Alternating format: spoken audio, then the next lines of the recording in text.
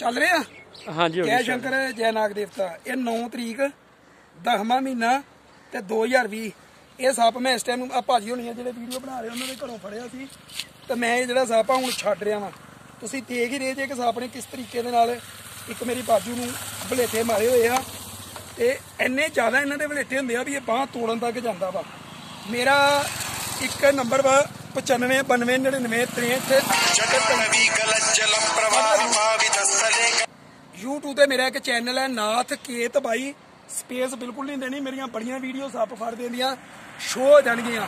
ਮੈਂ ਕਾਫੀ ਚੀਜ਼ਾਂ ਦੀ ਦੇਸੀ ਦਵਾਈ ਬਣਾਉਣਾ ਵਾਂ ਤੇ ਕਾਫੀ ਚੀਜ਼ਾਂ ਦੀ ਲੋਕਾਂ ਨੂੰ ਦੇਸੀ ਦਵਾਈ ਦੱਸਦਾ ਵਾਂ।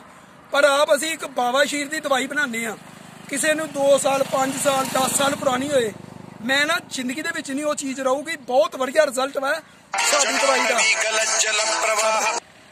ਤੇ ਮੇਰਾ ਨੰਬਰ ਆ 95 92 99 63 ਤੇ 35 ਤੇ ਪਲੀਜ਼ ਹੱਥ ਜੋੜ ਕੇ ਰਿਕਵੈਸਟ ਹੈ ਕਿ ਮੇਰੀ ਵੀਡੀਓ ਸੈਂਡ ਕਰਿਓ। ਤੁਹਾਨੂੰ ਕਿਸੇ ਦਿਨ ਸੱਪ ਜ਼ਰੂਰ ਵਿਖਾ ਕੇ ਜਾਵਾਂਗਾ। ਸੋਮਵਾਰ ਦਾ ਤੁਹਾਡੇ ਨਾਲ ਵਾਦਾ ਵਾ, ਦੇਖੋ।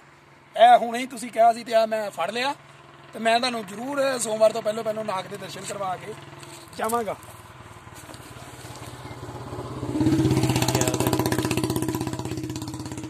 ਇਹ ਵੀਰ ਹੈ ਜਿਹਨੇ ਵੀਡੀਓ ਬਣਾਈ ਸੀ ਤੇ ਸਾਰਿਆਂ ਵੀਰਾਂ ਨੂੰ ਹੱਥ ਜੋੜ ਕੇ ਬੇਨਤੀ ਆ ਕਿ ਮੇਰਾ ਚੈਨਲ ਲਾਈਕ ਸ਼ੇਅਰ ਤੇ ਸੈਂਡ ਕਰਿਓ। ਮੇਰਾ ਨੰਬਰ ਹੈ 95 92 99 63 ਤੇ 35 ਜੈ ਸ਼ੰਕਰ ਜੈ ਨਾਗਦੀਪ